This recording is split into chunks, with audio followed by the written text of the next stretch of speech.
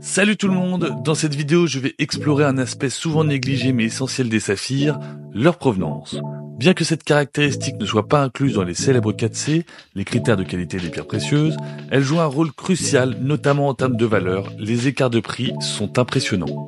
Regardons de plus près ces gemmes selon leurs origines. Prenons par exemple des saphirs bleus de différentes provenances, un birman et un sri lankais, deux birmans aux nuances variées, un birman face à un malgache,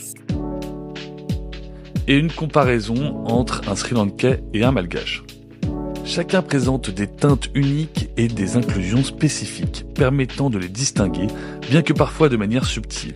Cette distinction n'a pas toujours été évidente, comme le montre l'exemple historique des saphirs malgaches et cachemiri, où même les experts en laboratoire rencontraient des difficultés malgré des différences de prix considérables. De nos jours, l'éthique et la traçabilité des pierres précieuses sont devenues primordiales. Si l'on devait établir un classement des provenances les plus prisées, les saphirs du Cachemire occuperaient la première place, suivis de ceux de Birmanie, du Sri Lanka et enfin de Madagascar. Cependant, ce classement n'est pas absolu.